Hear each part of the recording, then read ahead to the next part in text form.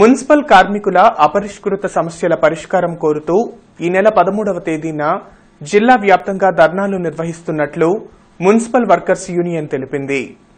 కొత్తపేట మల్లలింగం భవన్లో ఏర్పాటు చేసిన మీడియా సమావేశంలో యూనియన్ నేతలు మాల్యాద్రి రవికుమార్ మాట్లాడారు. మున్సిపల్ కాంట్రాక్ట్ కార్మికులకు ఐదు నెలల బకాయి జీతాలు మెడికల్ రిస్క్ అలవెన్స్ కోరుతూ ఈ నెల పదమూడున జిల్లాలోని అన్ని మున్సిపల్ కార్పొరేషన్ మున్సిపాలిటీ నగర పంచాయతీ కార్యాలయాల వద్ద భారీ ధర్నా నిర్వహిస్తున్నామన్నారు. కార్మికులను సచివాలయ పరిధి నుండి తప్పించి పని ఒత్తిడి తగ్గించాలన్నారు. ఆ మేరకు తలపెట్టిన ధర్నాను యావత్ మున్సిపల్ కార్మికులు జయప్రదం చేయాలని మాల్యాద్రి రవి కుమార్ పిలుపునిచ్చారు.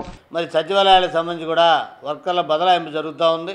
సచివాలయాల దగ్గర కాకుండా ఏదైతే శానిటరీ డివిజన్లు ఉన్నాయో ఆ శానిటరీ డివిజన్ల దగ్గరనే మరి మత్తర వేయాలని తద్వారా మరి పనుల్ని మరి కొనసాగించాలని కోరుతా ఉన్నాం.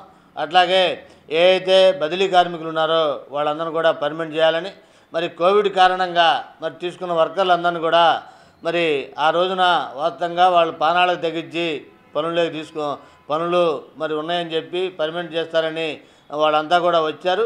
ఈరోజు కరోనా తగ్గిందని సంవత్సరాల రెండు సంవత్సరాల తర్వాత వాళ్ళందరినీ కూడా నిధులు నిలుపుదల చేయాలని మరి కొన్ని చోట్ల జరుగుతూ ఉంది. అట్లా కాకుండా వాళ్ళందరినీ కూడా కంటిన్యూ చేయాలని మరి నగర జనాభాకి తగ్గట్టుగా మరి కార్మికుల సంఖ్యను కూడా పెంచాల్సిన అవసరం